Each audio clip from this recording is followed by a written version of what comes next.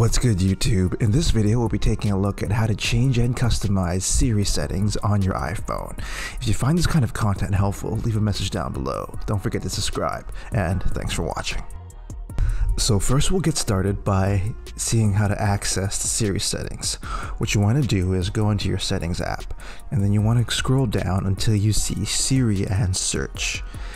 Once you hit Siri and search, you'll be prompted with the settings for Siri, and we'll just go over them one by one here. The first one is of course listen for Hey Siri. This is when the iPhone is always turned on to listen for Hey Siri, so you can prompt that with your voice to activate Siri. Next of course is to press the side button for Siri, which means holding down the side power button in order to activate Siri. Next, you have the language settings for Siri, and you can change it to various languages that are available by default on your iPhone. And of course, next we have the voice for Siri. Here you can switch between six different varieties of voices for English and four different voices for each variety for Siri. After that, we have Siri responses, and here you can adjust when Siri will respond to you, either always when silent mode is off or when Hey Siri is turned on.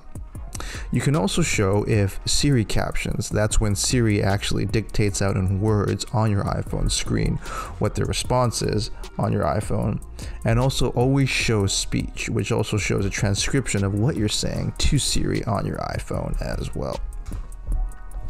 Next we have announce calls.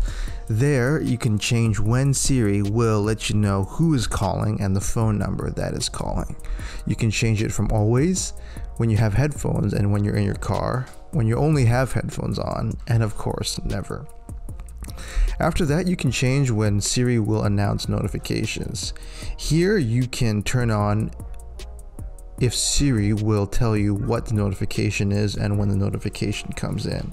If you turn this on, you'll notice a lot more options that are available to you, including prompting to activate this feature only when headphones are on, and also to be able to reply without confirmation of your notifications. You can also adjust which notifications this applies to from the list of apps that are available to you in this menu as well. Next we have Siri and dictation history. Here you can choose to delete the Siri and dictation history from your phone.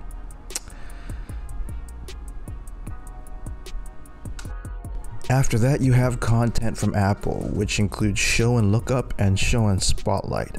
This is when Apple will show you content when you are searching for text or there's something in the photos or your searches that prompts some information from Apple. Next are suggestions from Apple.